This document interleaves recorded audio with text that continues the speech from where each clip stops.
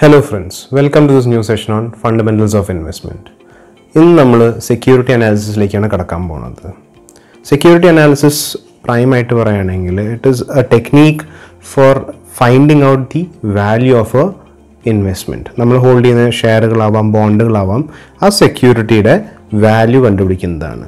Okay Before going into this if you are new to to channel please like share and and subscribe. Let's get into this Now, as I've told you security analysis എന്ന് പറയുന്നത് it's more or less evaluating a particular investment ഒരു investment നമ്മുടെ ഉണ്ട് അല്ലെങ്കിൽ ഒരു security നമ്മുടെ കയ്യിലുണ്ട്. ആ സെക്യൂരിറ്റിയുടെ ആക്ച്വൽ വർത്ത് അല്ലെങ്കിൽ ആക്ച്വൽ വാല്യൂ എന്താണെന്ന് പറയുക അല്ലെങ്കിൽ ഫൈൻഡ് ഔട്ട് ചെയ്യുക എന്നുള്ളതാണ് security analysis now one thing you want understand is that people have been for a long time trying to find out various methods അതിനകത്ത് പ്രൈമായിട്ട് ഇൻഡസ്ട്രിയിൽ അവൈലബിൾ ആയിട്ടുള്ള രണ്ട് മെയിൻ മെത്തേഡ്സ് ആണ് ഫണ്ട് ഒന്ന് ഫണ്ടമെന്റൽ അനാലിസിസും ഒന്ന് ടെക്നിക്കൽ അനാലിസിസും ഓക്കെ ടു പ്രൈം അപ്രോച്ചസ് ഒന്ന് fundamental and next one is technical analysis fundamental analysis എന്ന് പറയുമ്പോൾ ബേസിക്കലി ഉദ്ദേശിക്കുന്നത് ഒരു ഇൻവെസ്റ്റ്മെന്റിന്റെ ആക്ച്വൽ വാല്യൂ അല്ലെങ്കിൽ ഇൻട്രൻസിക് വാല്യൂ രണ്ടിലും നെറ്റ് എഫക്റ്റ് നോക്കുകയാണെങ്കിൽ നമ്മൾ ആക്ച്വൽ വാല്യൂ കണ്ടുപിടിക്കുക എന്നതാണ്. വാല്യൂ അല്ലെങ്കിൽ പ്രൈസ് പ്രൊഡിക്റ്റ് ചെയ്യുക എന്നുള്ളതാണ്.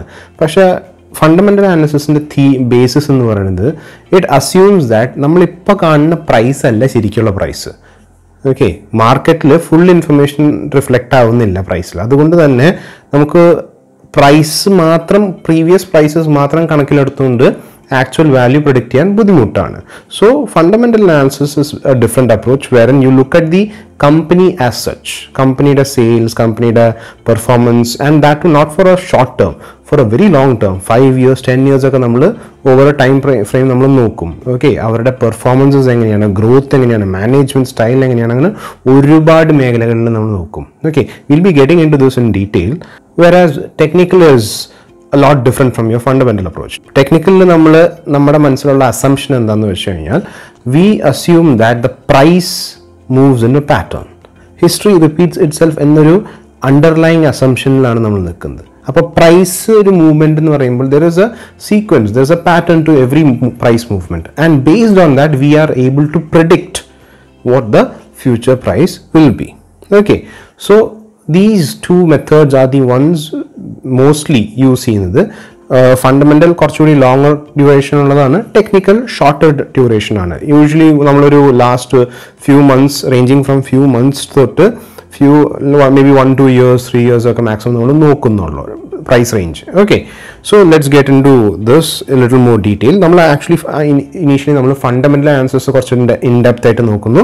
അത് കഴിഞ്ഞിട്ട് നമുക്ക് ടെക്നിക്കലിലേക്ക് പോവാം. ഓക്കെ സോ ഇന്നത്തെ സെഷനിൽ നമ്മൾ മെയിനായിട്ട് ഫണ്ടമെന്റലിന്റെ ബേസിസ് മാത്രമേ കവർ ചെയ്യുന്നുള്ളൂ. ഇൻ ഡെപ്ത് അടുത്ത അടുത്ത ഓരോ സെഷൻസിൽ നമ്മൾ ഓരോരോ പാർട്സ് നമ്മൾ കുറച്ചുകൂടി ഡീറ്റെയിലിൽ കവർ ചെയ്യും. Okay so let's look at fundamental answers a brief history അല്ലെങ്കിൽ ഒരു brief understanding of fundamental analysis is that firstly nineteen thirty ഫോറിൽ ഒരു പബ്ലിക്കേഷൻ വരുന്നത് security analysis by Benjamin Graham and David Dodd ഇവർ രണ്ടുപേരാണ് ഇതിന്റെ ഫൗണ്ടേഷൻ സ്റ്റോൺ ലേ ചെയ്തത്. അതിന്റെ ബേസിസ് ഓക്കെ നൗ ഇതിന്റെ ഒരു പ്രത്യേകത എന്ന് പറയുന്നത് ഈ ഫണ്ടമെന്റൽ അനാലിസിസിന്റെ പ്രത്യേകത എന്ന് വെച്ച് കഴിഞ്ഞാൽ ബേസിക്കലി കറണ്ട് പ്രൈസ് അല്ലെങ്കിൽ ഫെയർ വാല്യൂ കണ്ടുപിടിക്കുക എന്നുള്ളതാണ്.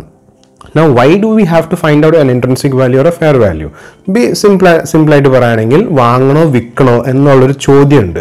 ആ ബേസിക് ഏതൊരു ഇൻവെസ്റ്റ്മെന്റിന്റെയും ബേസിക് ചോദ്യമാണ് ഈ പർട്ടിക്കുലർ ഇൻവെസ്റ്റ്മെന്റ് വാങ്ങണോ വിൽക്കണോ എന്നൊരു ചോദ്യം. ആ ചോദ്യത്തിന്റെ ഒരു സൊല്യൂഷനാണ് നമ്മൾ എപ്പോഴും കൊടുക്കുന്നത്. ഓക്കെ ദെൻ നമ്മൾ ഇതിനകത്ത് ചെയ്യുന്നതെന്ന് വെച്ച് കഴിഞ്ഞാൽ we look at the company on a fundamental level അതിനകത്ത് സെയിൽസ് അവരുടെ earnings growth debt management management styles competition എങ്ങനെയുണ്ട് അവരുടെ കയ്യിൽ പേറ്റന്റുകളുണ്ടോ അങ്ങനത്തെ കുറേ കാര്യങ്ങൾ നമ്മൾ ഇവാലുവേറ്റ് ചെയ്യുന്നു. എന്തിനു വേണ്ടിയിട്ട്? ആ ഫ്യൂച്ചർ പ്രൈസസ് ഫോർകാസ്റ്റ് ചെയ്യാൻ വേണ്ടിയിട്ട്. ഓക്കെ ഇവരുടെ ഒരു ഒരു എന്താ പറയുക ഒരു അസംഷൻ എന്ന് വേണമെങ്കിൽ പറയാം. ഇപ്പോഴത്തെ price does not reflect the actual value കാരണം പ്രൈസിനെ ബാധിക്കുന്ന ഒരുപാട് ഫാക്ടേഴ്സ് ഉണ്ട്. ചിലപ്പോൾ പെട്ടെന്നൊരു ന്യൂസ് ന്യൂസ് കാരണം ഈ പറഞ്ഞിട്ടുള്ള പ്രൈസുകൾ മാറാം. സേ ഫോർ എക്സാമ്പിൾ ഒരു ഒരു വേറെ ഒന്നും വേണ്ട. ഒരു ടെററിസ്റ്റ് അറ്റാക്ക് രാജ്യത്ത് സംഭവിച്ചു.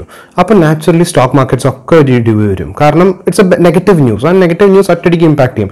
Even if the company is doing good company നല്ല കമ്പനിയാണ് അവരുടെ ഫണ്ടമെന്റൽസ് എല്ലാം സ്ട്രോങ് ആണ് നല്ല ഏർണിങ്സും എല്ലാം നല്ലതാണെങ്കിൽ പോലും ഈ ഒരു ആഫ്റ്റർ ഷോക്കിന്റെ കാരണം അതായത് ഇങ്ങനൊരു നെഗറ്റീവ് ന്യൂസ് മാർക്കറ്റിൽ സെന്റിമെന്റ്സ് ഹിറ്റ് ഹിറ്റ് ചെയ്തത് കാരണം ചിലപ്പോൾ സ്റ്റോക്കിന്റെ പ്രൈസ് താഴെ പോകും സോ ഇറ്റ്സ് നോട്ട് എ ഒരു definite means of evaluating a value of a stock അല്ല ഈ പറഞ്ഞിട്ടുള്ള പ്രൈസ് ഓക്കെ അതുകൊണ്ടാണ് നമ്മൾ ആക്ച്വൽ വാല്യൂ അല്ലെങ്കിൽ ആക്ച്വൽ പ്രൈസ് നമ്മൾ കണ്ടുപിടിക്കുന്നത്.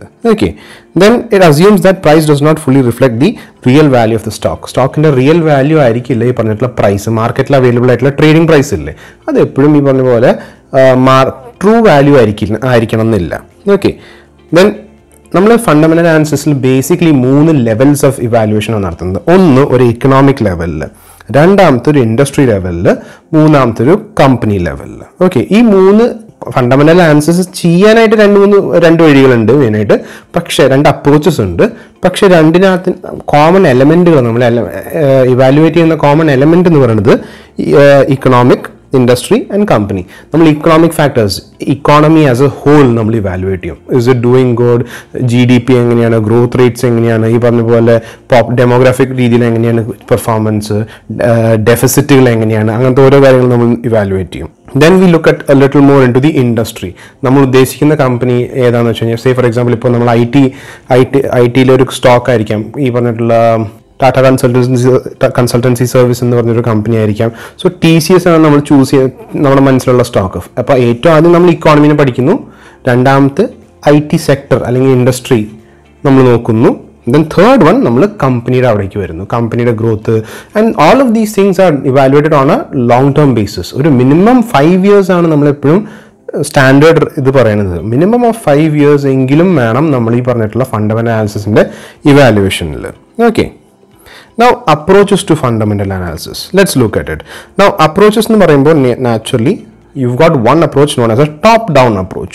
Top down approach എന്ന് പറയുമ്പോൾ E I C economy industry company okay top down approach that is ആദ്യം നമ്മൾ ഇക്കോണമിനെ വാലുവേറ്റ് ചെയ്യുന്നു പിന്നെ ഇൻഡസ്ട്രീനെ വാലുവേറ്റ് ചെയ്യുന്നു പിന്നെ കമ്പനീനെ വാലുവേറ്റ് ചെയ്യുന്നു that is the top down approach bottom down approach എന്ന് പറയുമ്പോൾ ബോട്ടം അപ്പ് അപ്രോച്ച് എന്ന് പറയുമ്പോൾ സി ഐ ഇ കമ്പനീനെ ആദ്യം നോക്കുന്നു പിന്നെ ഇൻഡസ്ട്രി പിന്നെ economy.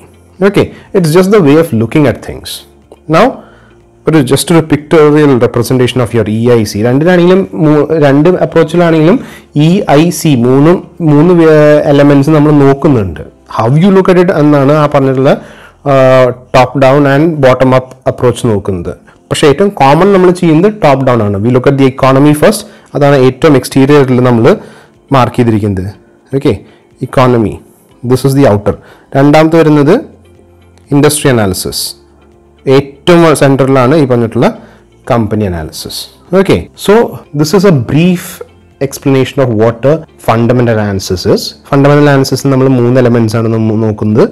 മെയിനായിട്ട് economy analysis company analysis and industry analysis അതിന്റെ ബേസിസിലായിരിക്കും നമ്മളൊരു ഒരു ഒരു കമ്പനിയുടെ ഷെയറിന്റെ ആക്ച്വൽ വാല്യൂ ഇൻട്രൻസിക് വാല്യൂ അല്ലെങ്കിൽ ആക്ച്വൽ വാല്യൂയിലേക്ക് വന്നു ചേരുന്നത്. Okay we are trying to predict the what is the actual value അതിന്റെ ബേസിസ് ബേസിസിലാണ് നമ്മൾ ബൈ യുവർ സെൽ ഡിസിഷൻസ് എടുക്കുന്നത്.